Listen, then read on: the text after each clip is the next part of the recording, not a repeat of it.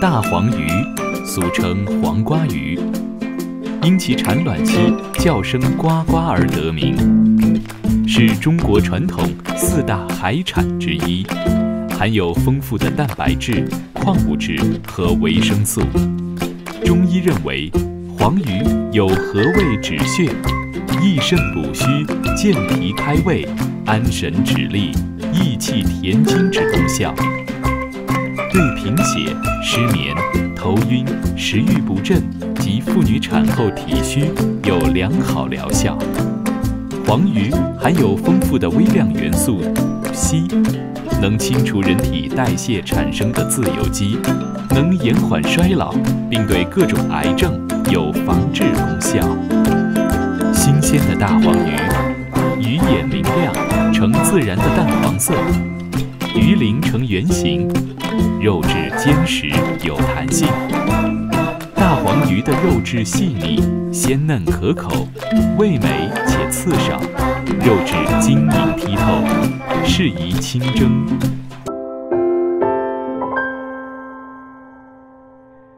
制作黄焖大黄鱼，用到一尾大黄鱼七百五十克，辅料上需要生姜五十克。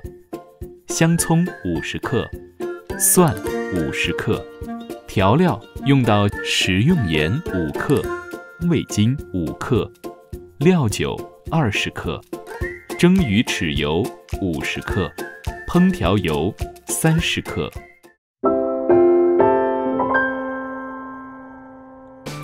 黄焖大黄鱼的制作，第一步，辅料处理。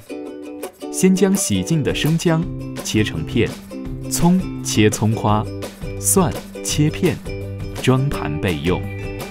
第二步，将大黄鱼内脏去除，清洗干净，鸡刀贴骨，斜刀在背鳍部贴骨头两侧切好，备用。第三步，将锅置于火上，倒入适量的烹调油，加入蒜片。爆出香味，将黄鱼送入锅中，加入适量盐、料酒、蒸鱼豉油，清汤翻炒，盖上锅盖，焖煮三至四分钟。第四步，四分钟后打开锅盖，加入适量的白糖，改用大火收汁。第五步，锅内加入适量盐巴、醋。味精调味，最后淋上尾油就可以出锅了。撒上些许葱花，一盘鲜香四溢的黄焖大黄鱼就这样做好了。这样蒸出来的鱼不仅口感嫩滑，而且没有腥味。